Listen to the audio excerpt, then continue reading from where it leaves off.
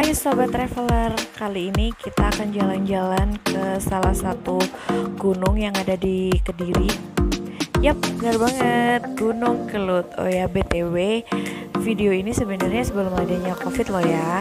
Jadi jangan nanya, loh kok nggak pakai masker? gitu, oke? Okay? Nah, di sini kita harus bayar tiket dulu. Uh, Kurang lebih harga tiketnya sebelum pandemi sih sekitar 10 ribu ya.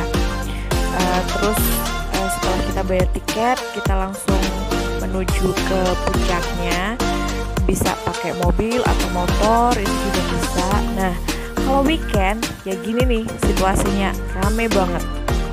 Kita harus ngantri dulu sebelum dapat parkiran yang ada di atas. Jadi kita nunggu uh, motor atau mobil yang turun jadi kita bisa naik ke atas.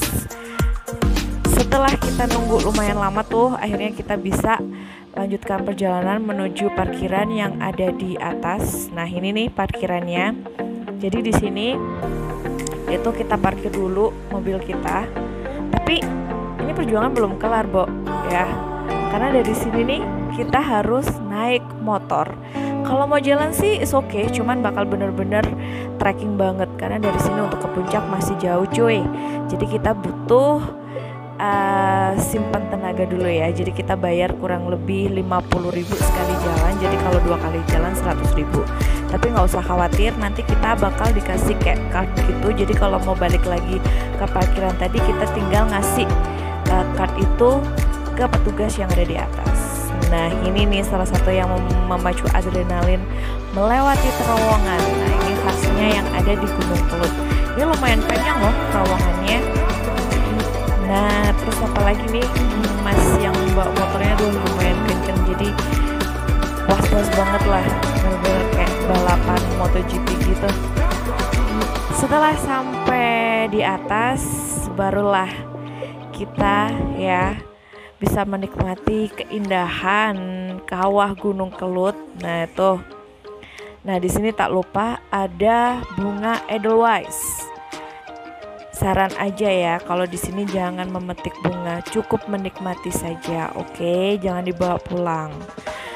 Setelah menikmati keindahan, nah ini keindahan gunung, panorama, foto-foto ceria bersama pasangan, keluarga, kita harus beli oleh-oleh.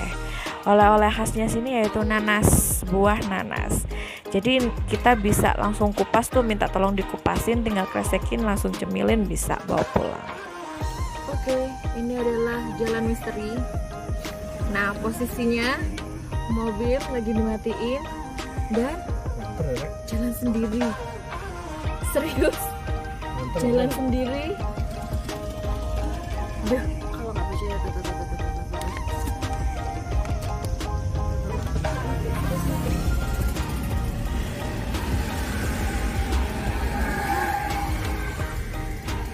lumayan kenceng loh.